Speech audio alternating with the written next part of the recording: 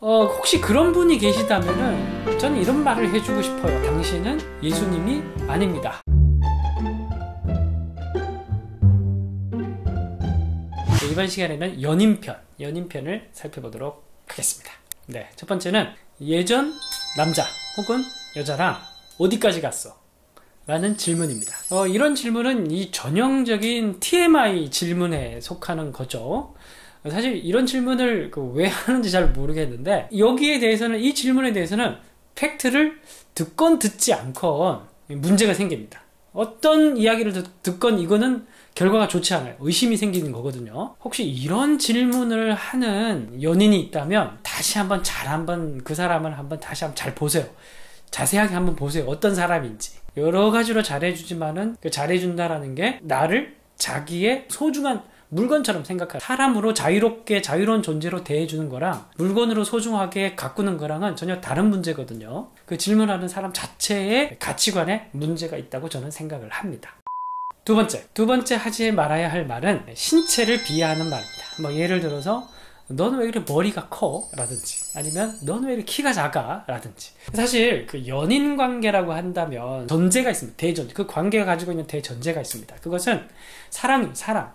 그것은 어떤 것을 하더라도 예뻐 보이고 잘생겨 보이고 멋있어 보이잖아요. 사실 이제 그걸 즐기는 시간 들인 건데, 그걸 즐기는 관계인 건데, 머리가 크더라도 크기 때문에 귀엽고, 그리고 키가 너무 작기 때문에 아담하고 너무 귀엽고, 뭐 이렇게 돼야 되는데, 너는 왜 키가 커? 너는 왜 이렇게 머리가 커? 그러면 어 이게 자기 존재를 이게 용납받지 못하는 거거든요. 물론 뭐 농담으로 그럴 수는 있겠는데 만약에 진심으로 그런다면은 그 좀 문제가 있다고 저는 생각을 합니다. 세 번째 여자가 그렇지 뭐라든지 남자가 그렇지 뭐라든지 이렇게 성 비하하는 발언입니다. 내가 가지고 있는 성만으로 내가 완전한 사람이 될 수 있다면 우리는 이성 교제를 할 필요가 없어요. 그렇죠. 근데 나는 내가 남성이기 때문에 여성이 필요하고 내가 여성이기 때문에 남성이 필요하다고 한다면 나는 불완전한 존재라는 것을 인정하는 것이거든요. 그런데 우리가 아, 상대방의 이성에 대해서 성 비하를 한다고 한다면 제 얼굴이 침뱉기라는 겁니다. 그 말과 행동 자체가 모순이 있는 겁니다. 그래 사실 오늘날 보면 분명히 이성 없이는 살 수 없는 불완전한 존재들이 이성을 탐구하지만 그 이성을 혐오하고 비하하는 그런 모순적인 자기 모순적인 사람들이 꽤 많이 보이거든요. 이 성에 대한 왜곡된 생각이 있다면 그래서 반드시 고쳐야 할 태도라고 생각합니다. 은연중에 그런 말들이 이성 교제하는 가운데 튀어 나오거든요. 아, 그럴 것 같으면 자기 혼자 살아야죠. 왜 이성을 만납니까? 이성을 비하할 것 같으면 이성을 비하할 것 같으면 뭐하러 이성을 만납니까? 그렇죠? 네 번째, 이제 지친다. 내가 언제까지 참아줘야 돼? 뭐 이런 말입니다. 이런 말을 나오기까지에는 오랜 과정이 있었겠죠. 뭐 참아줬으니까. 그렇다고 한다면은 이건 그 사람만의 문제가 아니라 양자의 문제가 될 수도 있을 겁니다. 자기 여자친구가 너무 자존감이 낮아서 만날 때마다 비관적인 얘기를 하고 만날 때마다 힘든 얘기를 하는데 또 이 형제는 되게 긍정적인 친구라서 만날 때마다 용기를 북돋아 주고 긍정해 주고 막 이렇게 칭찬을 해 줬다고 해요. 그런데 어느 날 이게 너무 지친다는 겁니다. 그래서 이 형제가 음, 나 너무 이제 지쳐. 그리고 나에게 시간이 필요해. 그렇게 얘기만 해놓고 잠수를 타버린 거예요. 그러니까 이 여자친구는 되게 황당해진 겁니다.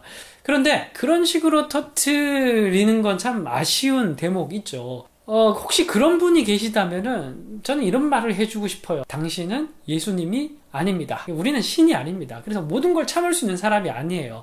사랑한다고 해서 모든 것을 다 감내하고 모든 것을 다 이겨낼 수 있는 그런 존재가 우리는 아니라는 겁니다. 그래서 우리에게 필요한 게 대화라는 거예요. 대화. 대화에서도 가장 중요한 게 아이 메시지. 그래서 여자친구나 남자친구나 그렇게 끊임없이 자기를 지치게 하는 그런 대목이 있다고 칩시다.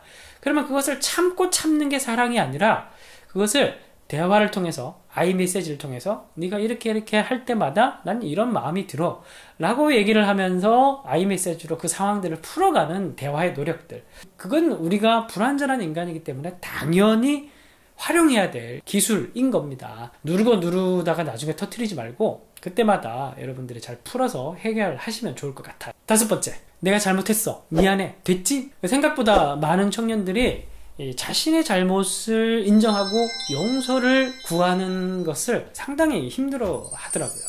근데 여러분 이성 교제를 할 때 우리가 많이 훈련해야 될 부분들은 바로 그런 부분입니다. 서로가 아름답게 사랑을 하지만은 서로 불완전한 존재이기 때문에 서로에게 실수를 할 수도 있고 잘못을 할 수도 있어요. 근데 그럴 때마다 우리가 서로에게 진심으로 용서를 구하고 사과하고 또 용서를 받는 그런 훈련들을 우리는 끊임없이 해 나가야 합니다. 그런 것들이 계속 반복해 나가면서 사실 우리의 관계를 더 깊게 만들고 더 아름답게 만들고 또 나중에 부부 생활을 하게 될 때도 솔직한 자기 반성과 또 용서를 또 구하는 그런 행동들은 나중에 부부 생활할 때도 굉장히 도움이 되는 그런 행동들이 됩니다. 그런 걸 연인 관계에서부터 잘 여러분들이 훈련을 할 수 있었으면 좋겠어요. 마지막으로 어, 정리를 하겠습니다. 어, 연인 관계는 사실 그것 자체가 어, 결혼 관계가 아니기 때문에 불완전할 수밖에 없습니다. 근데 불완전하면서도 사실은 그런 불완전함이 주는 강렬한 끌림이 또 있죠. 그래서 어, 서로에게 너무 집착할 수도 있고 그렇기 때문에 서로에게 또 실수할 수도 있고 또 그렇습니다. 근데 그럴 때마다 우리에게 중요한 것은 이 시간 자체가 완전한 시간이라기보다 이 시간 자체가 우리가 배워가는 시간, 훈련해가는 시간, 함께 성숙해가는 시간이라는 것을 잊지 말고 그렇게 아름다운 시간들을 여러분들이 만들어 가셨으면 좋겠어요.